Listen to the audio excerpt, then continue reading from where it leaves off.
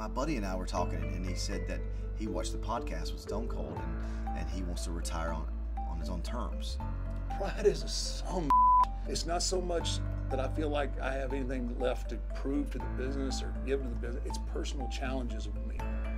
It almost sounded like he was going to go one more match or maybe two more, and I thought, if he's going to do something, how can I be one of those matches if he's going to do more than one? I, I just want to be one of them. Broken Skull Sessions with The Undertaker and Mark Calaway. Cheers. Enjoyed it. I was like, you know what? I'm going to give it a shot. All he can say is no. It's not a big deal. I didn't ask Vince because if Taker doesn't want to do it, well, then it's not going to happen. So I called Undertaker. I mean, we just started chatting. I had a pretty good idea what he was calling for. He goes, uh, when you were on Steve's show, you said you were going to kind of go uh, do things on your own terms. What's that mean? I mean, are you going to work and you want to do something? He goes, I would love to do something with you at Mania. And I was like, oh man, Alan. I was like, bro, honestly, I said, I would have loved to work with you 10, 15 years ago.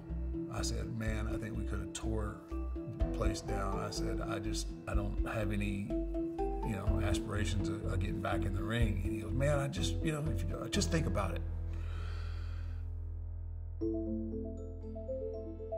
If it's me, I'm looking at the roster. I go, right, I want AJ Styles. That's who I'm going to have my last match with. Because AJ is a guy who, from an athletic standpoint, can help him have that final chapter, I think.